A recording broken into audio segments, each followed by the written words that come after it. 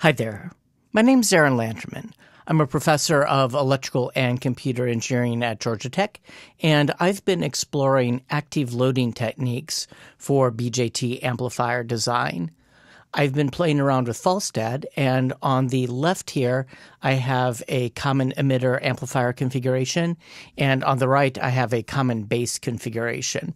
In both configurations, I'm using a PNP transistor to set the bias current, and I'm doing that using a VEB junction of 0.7 volts. I have to say VEB because it's PNP. So down here on the left, you can see I have a voltage source for my input. I've set this to have a DC offset of 700 millivolts, and this is a 1.4 volt peak to peak signal. Now, both of these configurations are high gain configurations, so you would expect the output to rail all the way one way or the other, and you see it does. That's this little green path. The red line is showing the input. However, I'm referencing its measurement to that 0.7 volts. So if you see it at zero, it's really at 0.7. I did that to sort of make it easier to separate what is going on on the graph.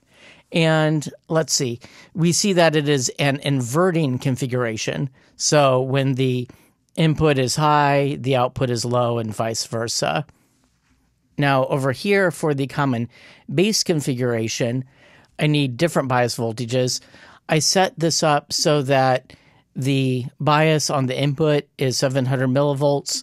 The bias on this base of this NPN transistor for the common base configuration is at 1.4 volt. And once again, I'm measuring the output as is, but I'm measuring the input reference to 0.7 volts. Now, the common base amplifier is a non inverting configuration. So here, when the input goes up, the output goes up. And when the input goes down, the output goes down. Now, it's interesting to note that this isn't railing out all the way at the lower end. It's showing a little bit of roundedness at the bottom here. So, when you're interpreting the results here, the sort of math you usually do to figure out what's going on is really only in play during these very brief transitions when the input's very close to that bias point. And that math is usually done assuming both transistors are in the active region.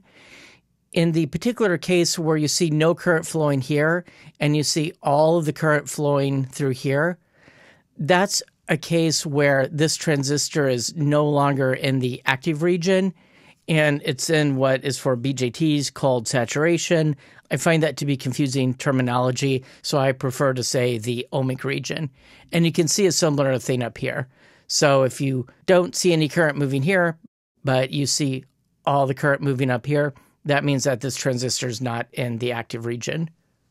Anyway, I used the export as link feature in Falstad. So I'll put some links below. I'll also include the text. So you can actually say, uh, where do you do that? You say import from text, and you'll be able to copy and paste text in case those links ever die. And you can play around with this.